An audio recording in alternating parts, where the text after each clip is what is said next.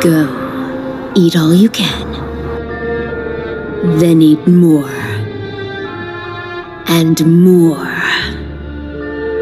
Eat as much as you need to. Consume everything in your path.